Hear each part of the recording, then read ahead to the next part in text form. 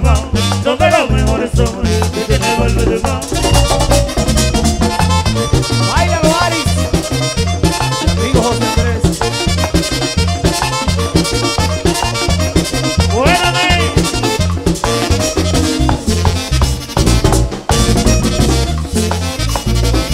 Yo tengo una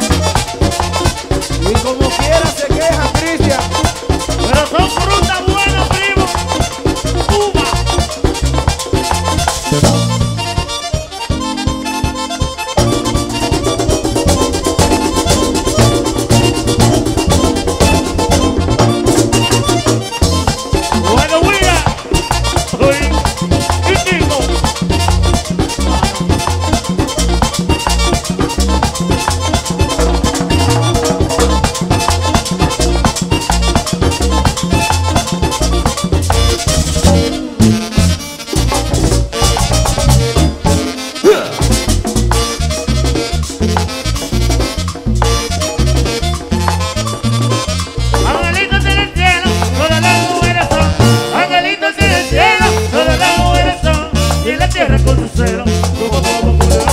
Y en la tierra con su cero, como Papa Culeón. Allá.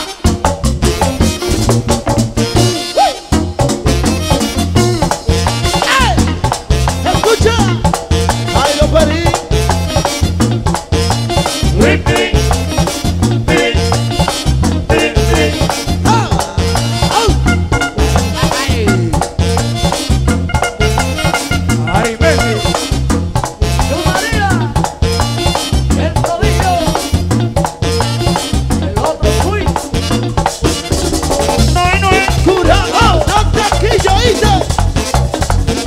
Carlos